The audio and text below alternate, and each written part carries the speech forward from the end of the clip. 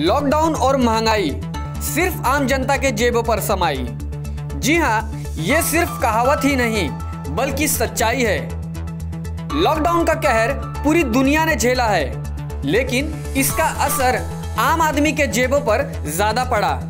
इसी बीच महँगाई ने अब कमर तोड़ना शुरू कर दिया है। एक तरफ़ पेट्रोल और डीजल के दाम और दूसरी तरफ़ रिक्शा का दुगना किराया।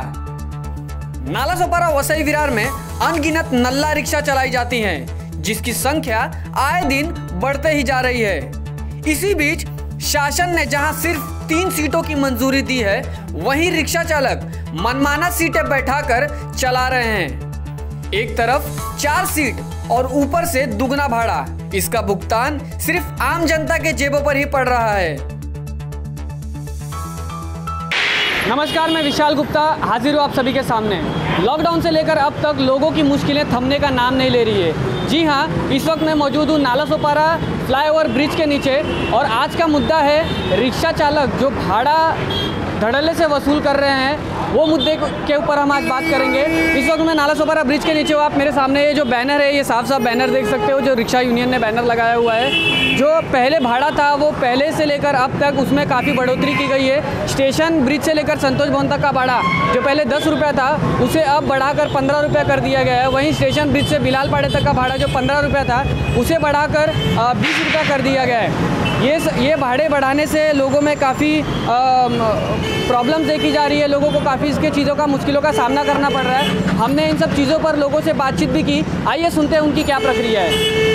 रिक्शे का भाड़ा बढ़ा हुआ है। आम जनता को काफ़ी तकलीफ़ हो रही है क्या बताएँगे? इसके लिए बहुत तकलीफ़ है। अभी भाड़ा तो इतना ज़्यादा बढ़ा लिया लोग मनमानी करते हैं। तीन चार आदमी को बैठाते फिर भी पहले तो दो आदमी का था तो सबको चलता था लेकिन अभी तीन को चार को फिर भी बैठा रहे और जो पहले भाड़ा लगाए थे वही भाड़ा चला रहे हैं। बीस रुपया तीस रुपया ऐसा लेते हैं सब। जबकि पहले पंद्रह रुपया था।